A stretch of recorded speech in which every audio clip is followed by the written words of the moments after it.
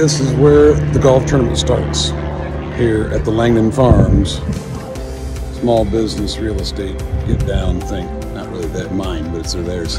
CCIM. This is what realtors do to have fun. Uh, try to build some commercial operations y'all can buy.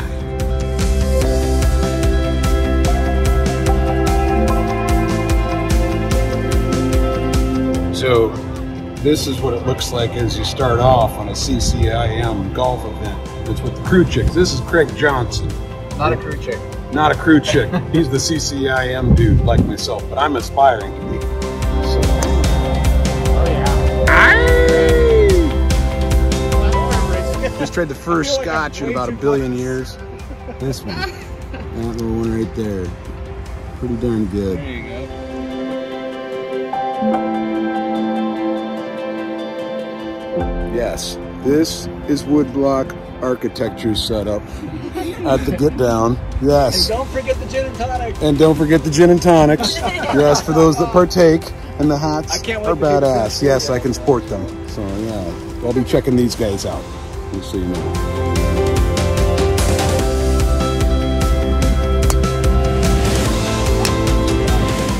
All right, once again, Dan puts us like in perfect position. This is Dan, Dan's the he's a ringer. He's our local ringer. This is Kelsey. This is their. We're uh, very excited to finish five behind the leaders. Oh, and we are rocking it. Yeah. Not a bad day so far, if I do say so myself. Can we take a pic of you? With, Yeah. Is that? Oh, we're taking a picture now, so we got to look at it. So we started at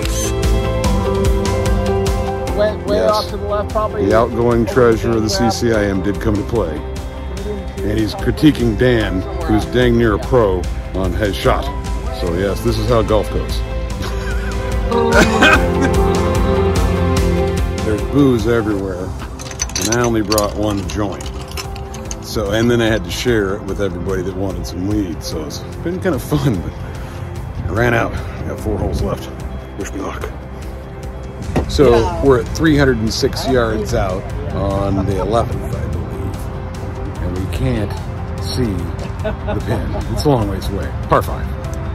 Just checking out. So this is how close my KP is. Woo!